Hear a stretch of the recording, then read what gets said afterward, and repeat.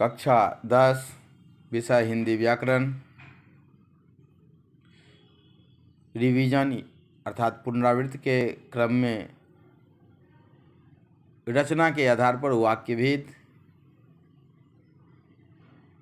का रिवीजन करवा रहे हैं। सबसे पहले प्रश्न उठता है, वाक्य किसे कहते हैं? तो शब्दों के सार्थक मेल को वाक्य कहते हैं।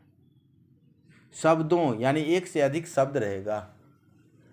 सार्थक, यानी कोई न कोई अर्थ रहेगा। सार्थक अर्थ रहना चाहिए। वाक्य की विशेषताएँ। किसी भी वाक्य में निम्नलिखित विशेषताएँ होनी चाहिए। पहला, वाक्य में प्रयुक्त हर शब्द का कुछ न कुछ अर्थ होनी चाहिए। वाक्य में प्रयुक्त हर शब्द की आपस में संगति होनी चाहिए। तीसरा वाक्य में पूर्ण अर्थ अभिव्यक्त करने की क्षमता होने चा, होनी चाहिए। और चौथा वाक्य में शब्दों का एक निश्चित क्रम होना चाहिए। सामान्यतः हिंदी में पदक्रम इस प्रकार से रखा जाता है। कर्ता प्लस कर्ता ज़ोर कर्म ज़ोर पूरक ज़ोर क्रिया। वाक्य के दो अंग होते हैं उद्देश्य और विधेय। वाक्य में जिसके बारे में कुछ कहा जाता है, उसे हम उद्देश्य कहते हैं। वाक्य में जिसके बारे में कुछ कहा जाता है, उसे हम उद्देश्य कहते हैं। जैसे राम आम खाता है, वाक्य में किसके बारे में कहा जा रहा है? तो राम के बारे में कहा जा रहा है। अतः राम उद्देश्य हो गया।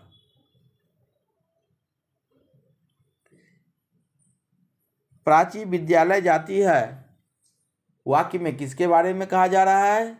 तो प्राची के बारे में तो प्राची उद्देश्य हो गई। दूसरा है, वाक्य अंग विधेय उद्देश्य के बारे में, वाक्य में उद्देश्य के बारे में जो कुछ कहा जाता है, उसे हम विधेय कहते हैं। जैसे राम आम खाता है, में राम के बारे में कहा जा रहा है तो राम उद्देश्य हो गया। और आम खाता है। वह उद्देश्य के बारे में कहा जा रहा है। तो आम खाता है, विधेय हो गया। प्राची विद्यालय जाती है, में प्राची उद्देश्य और विद्यालय जाती है, विधेय हो गया।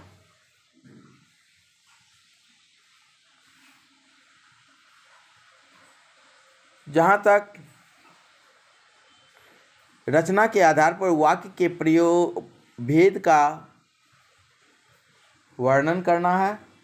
तो रचना के आधार पर वाक्य भेद, रचना के आधार पर तीन प्रकार के वाक्य होते हैं। सरल वाक्य, संयुक्त वाक्य और मिश्र वाक्य। सरल वाक्य, संयुक्त वाक्य और मिश्र वाक्य।